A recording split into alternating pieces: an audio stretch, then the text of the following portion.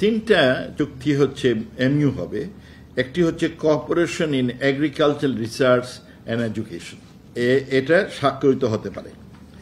তারপরে আছে, এটা বাংলাদেশ রিসার্চ কাউন্সিল এবং ইন্ডিয়ান কাউন্সিল অব এগ্রিকালচার রিসার্চের মধ্যে হবে। এই সমঝোতা স্মারকটি স্বাক্ষরিত হলে জাতীয় কৃষিখাতে গবেষণা ও প্রশিক্ষণ জোরদারকরণে গুরুত্বপূর্ণ ভূমিকা পালন করবে। এটা একটা। দুই নম্বর চুক্তি হচ্ছে কালচারাল এক্সচেঞ্জ প্রোগ্রাম বিষয়ক সমঝোতা স্মারকটি দুই হাজার তেইশ থেকে দুই হাজার পঁচিশ সময়ের জন্য বর্ধিত করার সম্ভাবনা আছে। এ সমঝোতা স্মারকের অধীনে শিল্প, সাহিত্য, সাংস্কৃতিক খাতে দুদেশের মধ্যে সহযোগিতা আরও জোরদারকরণে বিভিন্ন পদক্ষেপ ও কর্মসূচি গ্রহণ করা হবে। আর তিন নম্বর হচ্ছে ভারতের ব্যাংকের মধ্যে একটি সমঝোতা স্মারক স্বাক্ষরিত সম্ভাবনা আছে।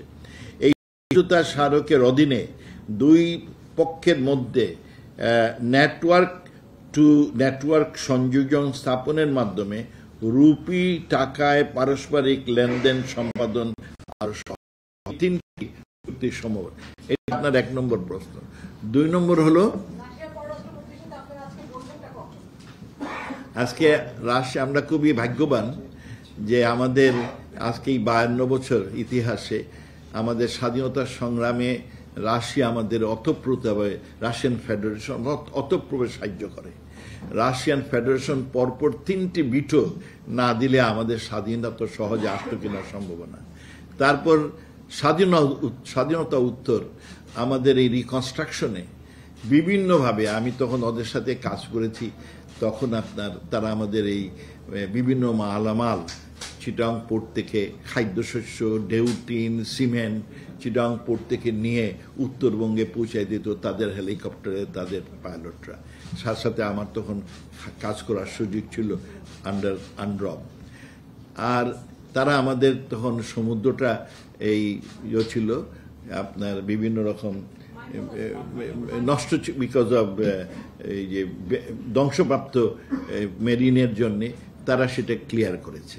তো আমাদের সাথে অনেক পুরনো সম্পর্ক, কিন্তু রাশিয়ার কোনো পররাষ্ট্রমন্ত্রী বাংলাদেশে কখনো ভিজিট করে নাই। আমরা গত কয়েক মাস আগে আয়রা সম্মেলন করি, তারা তখন ওয়াদা দেয় যে আসবে। কিন্তু শেষ পর্যন্ত পররাষ্ট্রমন্ত্রী আসতে পারেননি। এরপর এরপরে ওনার সাথে বারবার আমার দেখা হয়েছে। আপনার জি টোয়েন্টির এই ফরেন মিনিস্টার্স মিটিংয়ে আসিয়ানের এবং এআরএফ এর ফরেন মিনিস্টার্স মিটিংগুলোতে ওনার সাথে আমরা বললে যে আপনি আসার কথা বলছিলেন আসেন না। তো আমরা খুব হ্যাপি যে উনি প্রথমবারের মতো আমাদের দেশে আসছেন। স্বল্প সময়ের জন্যে। আজকে বিকেলে সোয়া পাঁচটায়। সোয়া পাঁচটায় এসে উনি আসবেন। আর তারপর আমার সাথে আলোচনা হবে। আমাদের সাথে একটা নৈশভোজ হবে। কালকে উনি মাননীয় প্রধানমন্ত্রীর সাথে সাক্ষাৎ করবেন এবং কালকেই তিনি ফেরত যাবেন।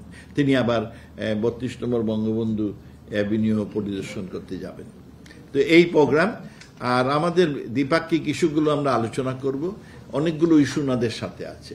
একটা হচ্ছে আমাদের এই যে নিউক্লিয়ার পাওয়ার প্ল্যান্ট।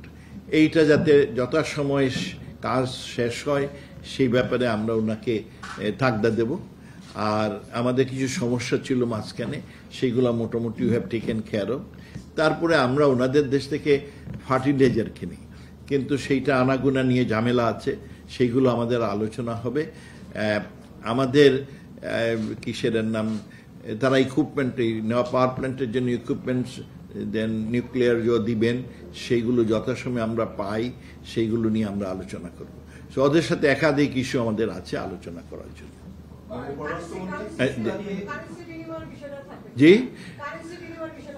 এই আমরা এই যেটা হলো এটা আমাদের তো রুবল শত নাই। সুতরাং এটা বিনিময় আলাপ হলেও ভাষা ভাষা আলাপ হলে খুব কংক্রিট কিছু একটা তৈরি হবে বলে আমি ঠিক জানি না। বিকজ দিস ইজ নট মুখে বললেই হবে না।